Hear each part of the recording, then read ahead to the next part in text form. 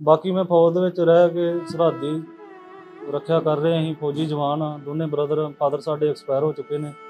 ਤੇ ਮਤਲਬ ਅਸੀਂ ਜਿਹੜਾ ਆਪਣਾ ਪਰਿਵਾਰ ਹੈ, ਇਹ ਪੁਲਿਸ ਪ੍ਰਸ਼ਾਸਨ ਦੇ ਉੱਤੇ ਮਤਲਬ ਛੱਡਿਆ ਹੋਇਆ ਕਿ ਚਲੋ ਸਾਡੇ ਘਰ ਪਰਿਵਾਰ ਸੇਫ ਆ, ਚਲੋ ਸਾਡੀ ਪੰਜਾਬ ਪੁਲਿਸ ਆ, ਨੇ ਸਾਡੇ ਘਰ ਸੇਫ ਆ, ਲੇਕਿਨ ਮਤਲਬ ਜਿੱਥੋਂ ਤੱਕ ਮੈਨੂੰ ਲੱਗ ਰਿਹਾ ਕਿ ਸਾਡਾ ਘਰ ਸੇਫ ਨਹੀਂ ਆ, ਇਸ ਕਰਕੇ ਮੈਂ ਅਗਰ ਮੈਨੂੰ ਇਨਸਾਫ ਨਹੀਂ ਮਿਲਿਆ, ਤਾਂ ਮੈਂ ਆਪਣੀ ਡਿਊਟੀ ਤੋਂ ਰਿਜ਼ਾਈਨ ਕਰ ਕੇ ਆਪਣਾ ਮੈਂ ਨੌਕਰੀ ਜਿਹੜੀ ਨਹੀਂ ਕਰਨੀ ਚਾਹੁੰਦਾ।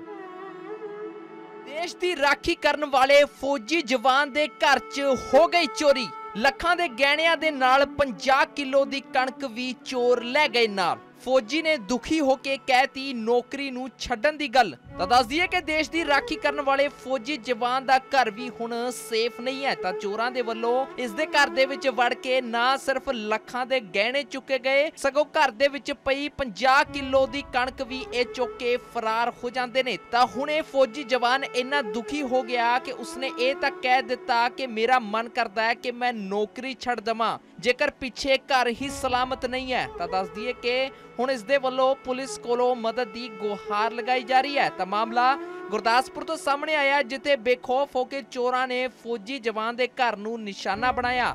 ਤਾਂ ਰਾਤ ਦਾ ਫਾਇਦਾ ਚੁੱਕਦੇ ਹੋਏ ਇਹਨਾਂ ਦੇ ਵੱਲੋਂ ਲੱਖਾਂ ਰੁਪਏ ਦੇ ਸੋਨਾ ਨਗਦੀ ਲੈ ਕੇ ਇਹ ਫਰਾਰ ਹੋ ਜਾਂਦੇ ਨੇ, ਤਾਂ ਦੁਖੀ ਹਿਰਦੇ ਦੇ ਨਾਲ ਫੌਜੀ ਬੂਟਾ ਸਿੰਘ ਅਤੇ ਉਸ ਦੀ ਮਾਂ ਨੇ ਦੱਸਿਆ ਕਿ ਰਾਤ ਨੂੰ ਕੋਈ ਵੀ ਘਰ ਨਹੀਂ ਸੀ, ਤਾਂ ਗੁਆਂਢ ਦੇ ਵਿੱਚ ਉਹ ਆਪਣੇ ਛੋਟੇ ਬੇਟੇ ਦੇ ਘਰ ਗਏ ਹੋਏ ਸੀ, ਉਹ ਵੀ ਫੌਜ ਦੇ ਵਿੱਚ ਹੀ ਨੌਕਰੀ ਕਰਦਾ ਹੈ। ਤਾਂ ਜਦ ਸਵੇਰੇ ਘਰ ਆ ਕੇ ਵੇਖਿਆ ਤਾਂ ਘਰ ਦਾ ਗੇਟ ਲੱਗਿਆ ਹੋਇਆ ਸੀ, ਪਰ ਕਮਰਿਆਂ 'ਚ ਜਿਵੇਂ ਹੀ ਦਾਖਲ ਹੋਏ ਤਾਂ ਵੇਖਿਆ ਘਰ ਦੀ ਕੱਲੀ ਕੱਲੀ ਚੀਜ਼ ਫਰੋਲੀ ਹੋਈ ਸੀ। ਤਾਂ ਅੰਦਰ ਅਲਮਾਰੀ ਤੋੜ ਕੇ ਲੋਕਰ 'ਚੋਂ 2.5 ਤੋਲੇ ਸੋਨਾ ਕੱਪੜੇ, ਲੈਪਟਾਪ, ਇੱਥੋਂ ਤੱਕ 50 ਕਿਲੋ ਕਣਕ ਵੀ ਇਹ ਚੋਰ ਲੈ ਕੇ ਫਰਾਰ ਹੋ ਜਾਂਦੇ ਨੇ। ਤਾਂ ਪੀੜਿਤ ਫੌਜੀ ਨੇ ਕਿਹਾ ਕਿ ਮੈਂ ਇੰਨਾ ਦੁਖੀ ਹਾਂ ਕਿ ਮਨ ਕਰਦਾ ਹੈ ਕਿ ਫੌਜ ਦੀ ਨੌਕਰੀ ਹੀ ਛੱਡ ਦਵਾਂ, ਜੇਕਰ ਪਿੱਛੇ ਪਰਿਵਾਰ ਹੀ ਸਲਾਮਤ ਨਹੀਂ ਹੈ। ਮੈਂ ਫੌਜ ਦੇ ਵਿੱਚ ਹੌਲਦਾਰ ਦੀ ਪੋਸਟ ਤੇ ਆ ਤੇ ਮੈਂ ਐਮਪੀ ਵਿੱਚ ਸਾਗਰ ਮੇਰੀ ਡਿਊਟੀ ਆ ਤੇ ਮੇਰੇ ਮੈਸੇਜ ਕਿਤੇ ਗਏ ਹੋਏ ਸੀ ਮਾਈਕੇ ਆਪਣੇ ਤੇ ਪਿੱਛੋਂ ਇਹ ਮਤਲਬ ਹੱਸਦਾ ਹੋਇਆ ਜਿਹੜਾ ਮੇਰੇ ਬੱਚੇ ਦੋਨੋਂ ਸੈਨਿਕ ਸਕੂਲ ਕਪੂਰਥਲਾ 'ਚ ਪੜ੍ਹਦੇ ਆ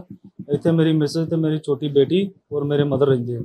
ਮੇਰੇ ਮਦਰ ਮਤਲਬ ਦੂਸਰੇ ਘਰ ਚਲੇ ਗਏ ਮੇਰਾ ਬ੍ਰਦਰ ਅਸੀਂ ਦੋਨੋਂ ਇੱਕ ਹੀ ਯੂਨਿਟ ਦੇ ਵਿੱਚ ਆ ਦੋਨੋਂ ਫੌਜੀ ਆ ਤੇ ਮਗਰੋਂ ਮਤਲਬ ਰਾਤ ਨੂੰ ਇਹ ਕਾਰਵਾਈ ਹੋਈ ਚੋਰਾਂ ਪਿੰਡ ਮੀਕੇ ਆ ਜੀ ਜ਼ਿਲ੍ਹਾ ਗੁਰਦਾਸਪੁਰ ਤਹਿਸੀਲ ਬਟਾਲਾ ਥਾਣਾ ਘਮਾਣ ਆ ਜੀ।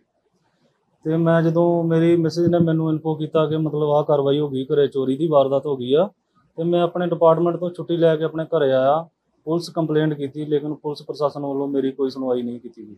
ਕਿੰਨੀ ਕੀ ਚੋਰੀ ਹੋਈ ਕਿ ਚੋਰੀ ਤਕਰੀਬਨ 2.5 ਲੱਖ 2.5 ਤੋਲੇ ਸੋਨਾ ਇੱਕ ਬੱਚੇ ਦਾ ਲੈਪਟਾਪ ਵੀ ਤੇ ਮਤਲਬ ਇੱਕ ਇਨਵੇਟਰ ਬੈਟਰਾ ਬਾਕੀ ਇਥੋਂ ਤੱਕ ਕਿ ਘਰੋਂ ਦਾਣੇ ਵੀ ਚੁੱਕ ਕੇ ਲੈ ਗਏ। ਲੇਕਿਨ ਕੋਈ ਇੱਥੇ ਮੇਰੇ ਨਾਲ ਕੋਈ ਮੇਰੀ ਹੈਲਪ ਨਹੀਂ ਹੋਈ। ਮਤਲਬ ਪੁਲਿਸ ਪ੍ਰਸ਼ਾਸਨ ਵੱਲੋਂ ਕੋਈ ਮੈਨੂੰ ਨਿਆਂ ਨਹੀਂ ਦਵਾਇਆ ਗਿਆ ਤੇ ਮੈਂ ਇਹੀ ਚਾਹੁੰਦਾ ਕਿ ਜਲਦ ਤੋਂ ਜਲਦ ਪੁਲਿਸ ਪ੍ਰਸ਼ਾਸਨ ਜਿਹੜਾ ਜਾਗੇ ਤੇ ਆਪਣਾ ਕਾਰਵਾਈ ਕਰੇ ਔਰ ਉਹ ਜੋ ਲੁਟੇਰੇ ਉਹਨਾਂ ਨੂੰ ਫੜ ਕੇ ਸਖਤ ਤੋਂ ਸਖਤ ਸਜ਼ਾ ਦਿੱਤੀ ਜਾਵੇ।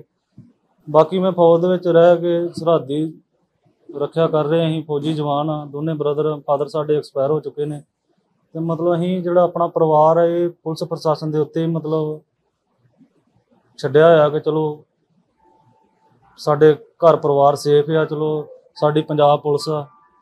ਨੇ ਸਾਡੇ ਘਰ ਸੇਫ ਆ, ਲੇਕਿਨ ਮਤਲਬ ਜਿੱਥੋਂ ਤੱਕ ਮੈਨੂੰ ਲੱਗ ਰਿਹਾ ਕਿ ਸਾਡਾ ਘਰ ਸੇਫ ਨਹੀਂ ਆ, ਇਸ ਕਰਕੇ ਮੈਂ ਅਗਰ ਮੈਨੂੰ ਇਨਸਾਫ ਨਹੀਂ ਮਿਲਿਆ ਤਾਂ ਮੈਂ ਆਪਣੀ ਡਿਊਟੀ ਤੋਂ ਰਿਜ਼ਾਈਨ ਕਰ ਕੇ ਆਪਣਾ ਮੈਂ ਨੌਕਰੀ ਜਿਹੜੀ ਨਹੀਂ ਕਰਨੀ ਚਾਹੁੰਦਾ। ਵੀ ਮੇਰੀ ਨੌਂ ਆਪਣੇ ਪੇਕੇ ਗਈ ਆ 4:30 ਵਜੇ ਵਾਲੀ ਬੱਸੇ ਮੈਂ ਆਪ ਚੜਾ ਕੇ ਗਈ ਆ।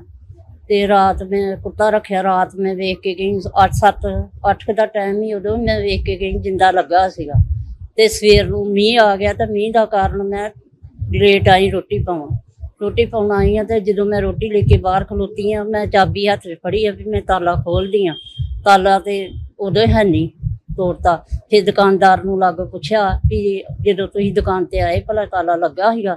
ਕਹਿੰਦੇ ਵੀ ਮੈਂ ਵੇਖਿਆ ਨਹੀਂਗਾ ਮੈਂ ਜਦੋਂ ਅਗਲਾ ਬੂਹਾ ਖੋਲਿਆ ਵਾ, ਕੁੜੀ ਦੀ ਬੇਟੀ ਦੀ ਕੱਪ ਕਿਤਾਬਾਂ ਵਾਲੀ ਕਿੱਟ ਸੀਗੀ।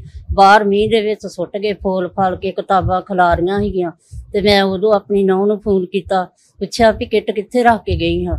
ਤੇ ਕਹਿੰਦੀ ਵੀ ਮੈਂ ਕਿ- ਕਿੱਟ ਰੱਖ ਕੇ ਗਈ ਸੋਫਿਆਂ ਤੇ ਬੈ- ਤੇ ਟੇਬਲ ਤੇ ਤੇ ਮੈਂ ਕਿਹਾ ਕਿੱਟ ਬਾਹਰ ਪਈ ਆ। ਤੇ ਆਹ ਦਰਵਾਜ਼ਾ ਜਿਹੜਾ ਮੇਨ ਦਰਵਾਜ਼ਾ ਸੀ, ਇਹ ਵੱਜਾ ਸੀਗਾ। ਉਹਨਾਂ ਵਾਰੀਆਂ ਥਾਣੀ ਲੰਘ ਕੇ ਤੇ ਫਿਰ ਸਾਡੇ ਘਰ ਦੀ ਚੋਰੀ ਕੀਤੀ ਆ। ਮੇਰੇ ਬੱਚੇ ਦੇ, ਬੱਚੇ ਦੋ ਆ, ਫੌਜ ਦੇ ਵਿੱਚ ਇਹਨਾਂ ਦਾ ਬਾਪ ਨਹੀਂ ਹੈਗਾ। ਤੇ ਅਸੀਂ ਇੱਕ ਪਾਸੇ ਹੀ ਰਹਿਣਾ ਵਾ। ਤੇ ਜਦੋਂ ਗਾੜਲਾ ਦਰਵਾਜ਼ਾ ਵੇਖਿਆ ਵਾ ਤੇ ਉਹਦੇ ਵਿੱਚ ਕੋਈ ਲੀੜਾ ਰਹਿ ਨਹੀਂ ਦਿੱਤਾ ਤੇ ਉਹ ਟੈਚੀਆਂ ਹੀ ਉਹ ਵੀ ਫੋਲ ਕੇ ਦੋ ਲੰਬਾਰੀਆਂ ਹੀ ਪੇਟੀ ਸੀ, ਅੰਦਰ ਵੀ ਦੋ ਬੈੱਡ ਸੀਗੇ, ਉਹ ਵੀ ਫੋਲੇ, ਬਾਹਰ ਦਾ ਬੈੱਡ ਵੀ ਫੋਲਿਆ, ਇੱਕ ਸਟੋਰ ਦੇ ਵਿੱਚ ਅਲਮਾਰੀ ਉਹ ਵੀ ਫੋਲੀ ਆ। ਨਿਆਣਿਆਂ ਕੋ ਜਾਣਾ ਸੀ, ਨਿਆਣੇ ਸਕੂਲ ਪੜ੍ਹਦੇ ਆ ਉੱਥੇ ਕਪੂਰਥਲੇ ਤੇ ਉਹਨਾਂ ਲਈ ਖਾਣ ਪੀਣ ਲਈ ਲਿਆਂਦਾ ਸੀ, ਉਹਨਾਂ ਲਈ ਸੌਦਾ ਸਮਾਨ ਦੇ ਕੇ ਆਉਣਾ ਸੀ, ਉਹ ਵੀ ਸਮਾਨ ਸਾਰਾ ਲੈ ਗਏ ਆ। ਤੇ ਲਫਾਫਾ ਝਾੜ ਕੇ ਤੇ ਸੁੱਟ ਗਏ ਆ। ਬਾਕੀ ਕੱਪੜੇ ਲਿਆਂਦੇ ਸੀਨ ਸੂਣ ਵਾਲੇ ਉਹ ਵੀ ਉਹਨਾਂ ਉਹਨਾਂ ਦੇ ਲੈ ਗਏ ਆ। ਸਭ ਕੁਝ ਰਹਿਣ ਨਹੀਂ ਦਿੱਤਾ। ਜਿਹੜੀ ਲੱਕੜ ਦੀ ਅਲਮਾਰੀ ਉਹਦੇ ਲੋਕ ਤੋੜੇ ਆ। ਉਹਦੇ ਵਿੱਚ ਸਾਡੇ ਪੈਸੇ ਹੀ ਵੀ ਇਹਦੇ ਵਿੱਚ। ਹਾਂਜੀ। ਸ਼ਿਕਾਇਤ ਹਾਂਜੀ ਹਾਂਜੀ ਲਿਖਾਈ ਆ। ਕੀ ਕਹਿੰਦੀ ਪੁਲਿਸ? ਪੁਲਿਸ ਆਈ ਜਿੱਦਣ ਦਾਖ ਕੇ ਆਏ ਉਦੋਂ ਆਈ ਆ ਮੁੜ ਕੇ ਕੋਈ ਵੜਿਆ ਨਹੀਂਗਾ ਮੁੜ ਕੇ ਨਹੀਂ ਕਿਸੇ ਨੇ ਕੋਈ ਸੁਣਾਈ ਨਹੀਂ ਦਿੱਤੀ ਕਿ ਆ ਵਜੇ ਕੋਈ ਆਇਆ ਨਹੀਂਗਾ ਮੇਰਾ ਬੱਚਾ ਵਿਚਾਰਾ ਰੋਜ਼ ਜਾਂਦਾ ਤੇ ਰੋਜ਼ ਫਿਰ ਤੁਰ ਕੇ ਤੇ ਘਰ ਆ ਜਾਂਦਾ।